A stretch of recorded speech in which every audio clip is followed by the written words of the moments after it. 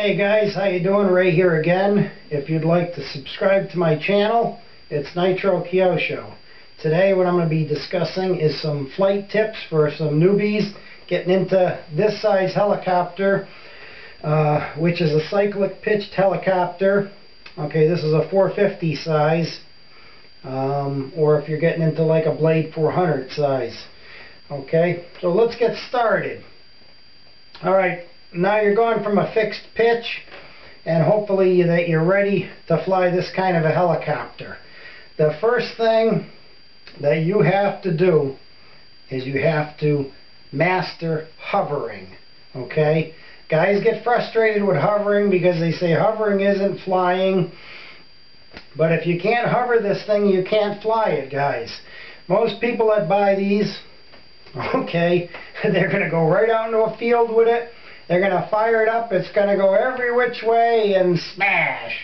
And most chances are they're going to throw it in a box, give up on the hobby, and the box is going to end up at a tag sale or in the back of their garage. Okay?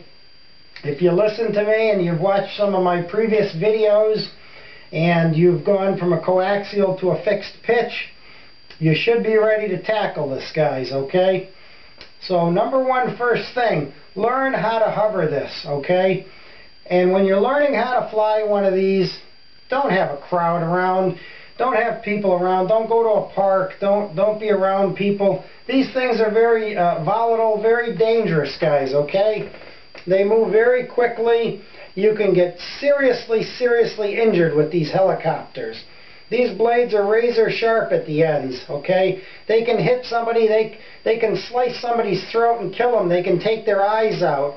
Uh, you know, they can break an, a leg or an, an arm. You do not want kids around these things. You know, accidents happen, mechanical failures. These things can go out of control. They can lose uh, tail, tail rotor blades. They can lose main blades. Uh, servos go out on them, okay? So be safe, guys. That's that's the number one thing too, to, to learn hovering and to be safe.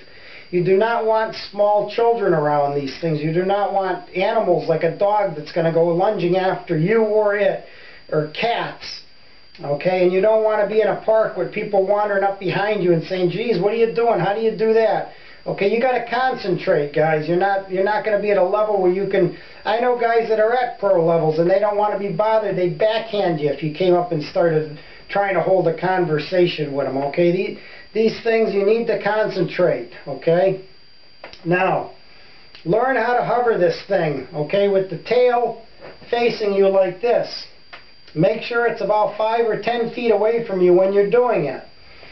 If you choose to be in an enclosed area, uh, to learn how to fly these, uh, I would recommend wearing safety glasses, okay? And not having anybody around. Alright? Now, mastering the hover is what's going to master you to fly this thing along with using a simulator. You want the tail facing you and you want a nice hover. You don't want this thing flopping and fluttering all over. Once you can get a nice steady hovering going, okay, then the next thing that you want to do is you want to start hovering it on the sides of you, okay, like this. You can stand with the controls straight out, and you can look at this thing out of the corner of your eye like this, okay? And that's and you're going to start learning how to get it from different angles. When you can master that side, obviously you're going to go and start learning the other side. Once you can get those kind of hovers down, it's time to start walking around with this thing. Follow it around, steer it like it's a car, get a good feel for it, okay? Once you have a good feel for it like that, where you can start walking behind it and you know which way is which. When you're learning how to fly these guys, you never want this thing to turn around and face you, because you're going to panic. When this thing turns around and faces you, okay, all your controls are going to be reversed. When you go to the right, it's going to go to the left. When you go to the left, it's going to go to the right. Forwards is backwards, backwards is forwards. It will get out of control on you very quickly. When I learned, I never wasted my time with a forward hover. That will come to you. Once you're out in a field and you're flying and it's coming to you, and it just comes naturally and now you're hovering it in front of you. So don't worry about a forward hover. People place emphasis on that like you're a god if you learn how to do that, okay? It's an utmost waste of time when you're learning. That comes to you 100% naturally once you know how to fly in a field. Okay, there's no great thing to having this thing hovering and you facing you nose in. It doesn't make you any better than anybody else, okay? I never wasted my time doing that, and I can do a beautiful nose and hover now, just from flying in a field. It came naturally. So don't waste your time with that garbage, okay? Now, once you got a, a side hover going on the right and a side hover going on the left, and you followed this thing around, now it's time to start getting it a little further away from you, okay? First 5 feet, then 10 feet. Bring it back in, tail in. Okay, once you can start getting it out a little further, that's what's going to start making you a better pilot. You're going to be nervous at first, so, you know, hover it from 5 feet away from you, hover it from 10 feet, hover it from 15, okay, and then bring it back in slowly. Remember, the controls, slowly, guys. You start slam, slamming these around and ripping this thing in full bore in reverse and slamming it, you're going to have problems, okay?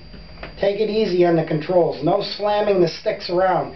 When you're moving those sticks, somebody watching you should say you barely look like you're moving your fingers, okay? Now, once you can do that, the next step, okay, is what I call a lazy man's coordinated turn, okay? A coordinated turn, a regular one, you're going to be using a combination of rudder and aileron, two different sticks. When you come into the turn, it's going to be like this, okay? And you're going to come around and straighten out. That is a coordinated turn, okay? Once again, a coordinated turn comes in like this, okay? And turns like that, okay? Most people that try it for the first time end up flopping it over and burying it in the ground, okay? It has to be a smooth combination of both sticks to get a coordinated turn, guys. Okay, so it comes like that. That is one of your keys to learning how to fly. What I recommend doing, and what I did when I learned, is what you can do is have the helicopter going straight like this. Okay, start learning how to fly it sideways. But when you're going to go into a coordinated turn, don't do it. Stop at the end, like this, okay, don't give it no rudder, aileron. Slide the helicopter back sideways with aileron and slowly turn it straight, okay? And then do the same vice versa at each side. That's called a lazy man's coordinated turn. That's the terminology I use. Or you can say it's a slide turn. So once again, don't go in uh, as a coordinated yet. Come in, when you start to get the helicopter like this to turn, give it your aileron and start sliding the helicopter back. And then just slowly ease back in going straight. Generally, that's the way you're going to learn how to fly. With the combination of a simulator, which I strongly recommend. But, you know, once you do your tail in, okay, your side hovers, the next thing you want to do is to start flying this thing back and forth in front of you like this. Okay. You can also, uh, if it helps you, you can turn your body when you're using the controller with the helicopter. Feel the way that it's turning. If you always have your antenna, the antenna uh, on your controller pointed to the back of this thing, the controls are always going to be as you know them. Okay? When it starts going this way and this way and that way, the controls now you have to have it in your head which way, which go, you know, which way this thing is going to turn.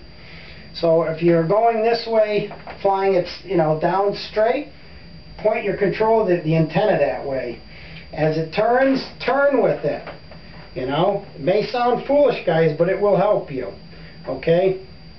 And that is basically the beginning stages of learning. Okay, remember, if you can hover this thing three inches off the ground, you're going to hover it 30 feet off the ground and 300 feet off the ground. God, if you could see that high. God bless you. okay?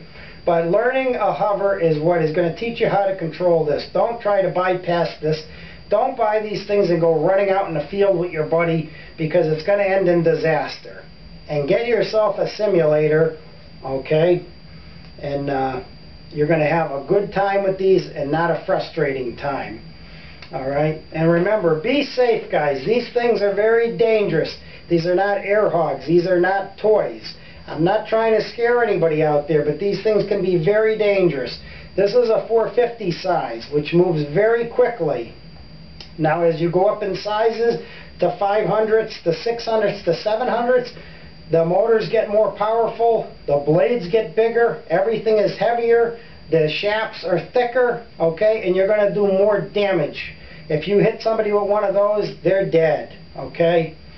So be safe. Don't go around people. Don't bring your buddy with you because your buddy's going to antagonize you like I see on a lot of YouTube videos. Come on, do it, do it, and smash. Okay, and he doesn't care because it's not his and he didn't pay for it and he's going to laugh at you after. So be safe. Practice by yourself. Okay, get yourself a simulator.